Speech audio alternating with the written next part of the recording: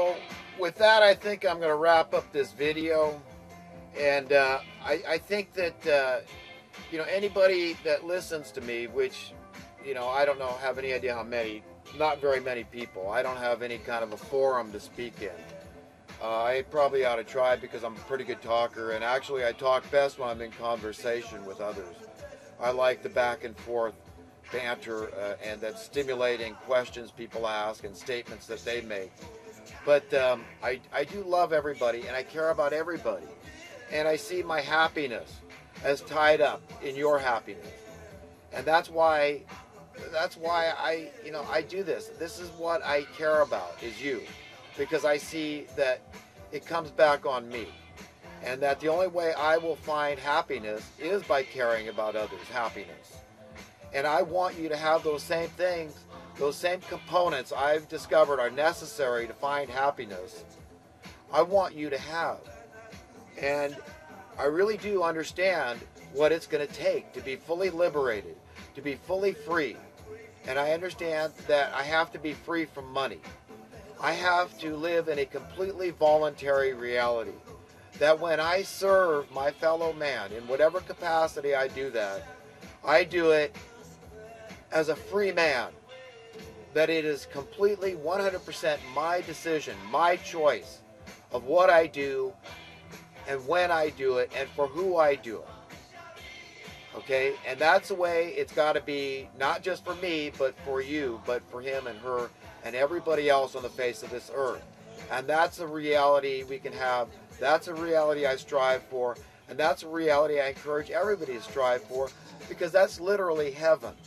Okay, that is that is heaven, is to be free, completely free. Okay, it's supposed to get really good.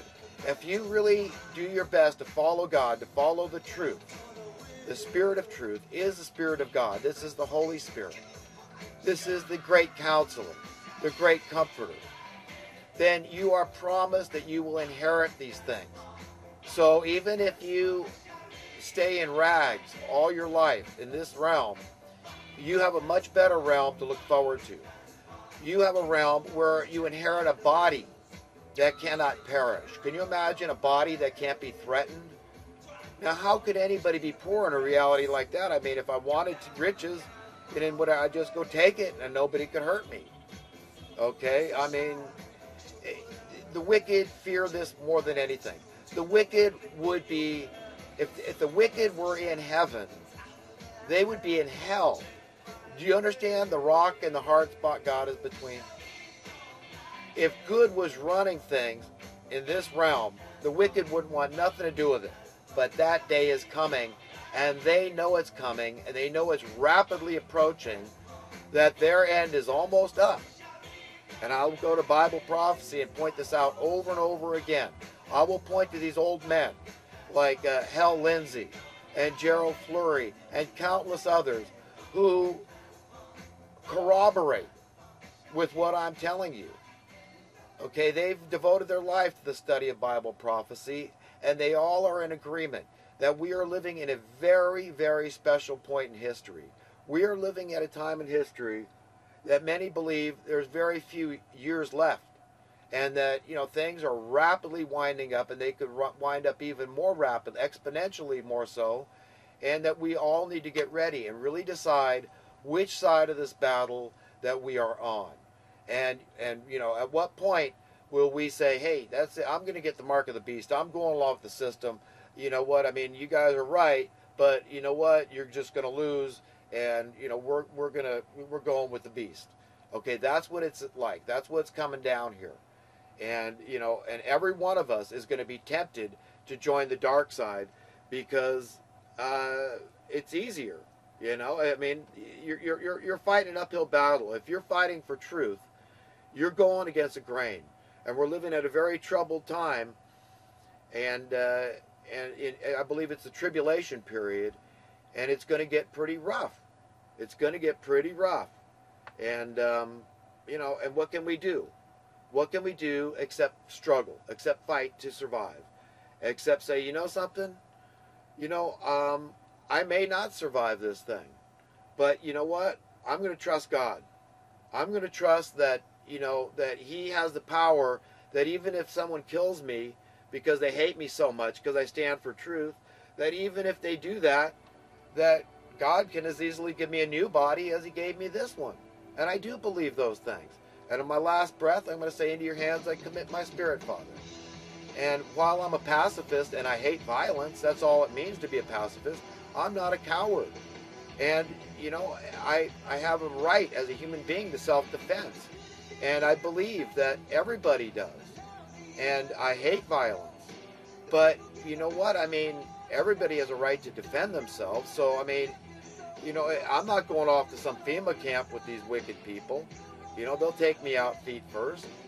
But uh, I'm the least violent guy you could ever meet. Let's put it that way. I hate it. I, I've seen the end from the beginning, and I don't want to hurt anybody accidentally. That's why I'm such a careful driver, much less on purpose. I don't even want to hurt your feelings. But I will stand against evil.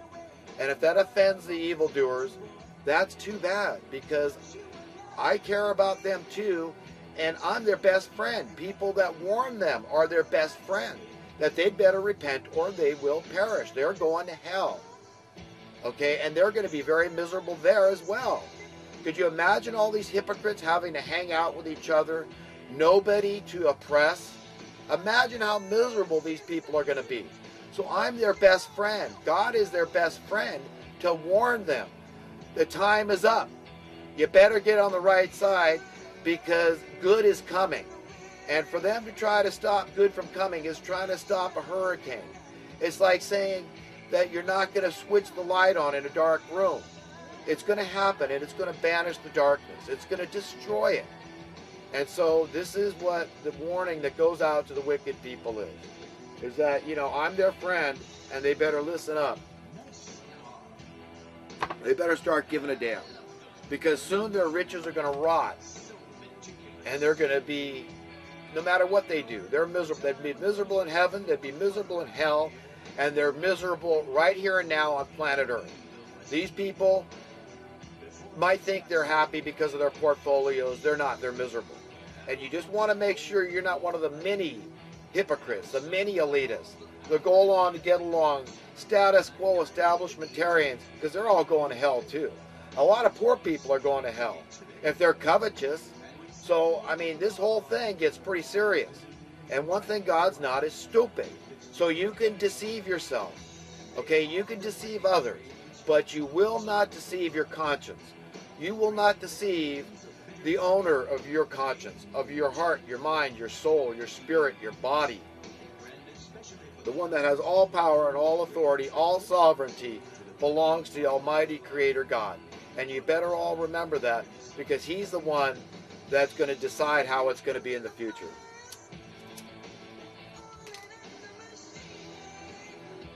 All right, well, I guess it's time to end this video. And um, I'm sorry if I seem a little manic, a little neurotic maybe. But you know what? It's been said by other great people out there, guys like Michael Tsarion, who understands the deeper, deeper things, that you don't want to fit into this system. And Jesus himself said, in this world you must hate your life. He wasn't talking about the earth, he's talking about the system. The system that's run literally by the spirit of Satan.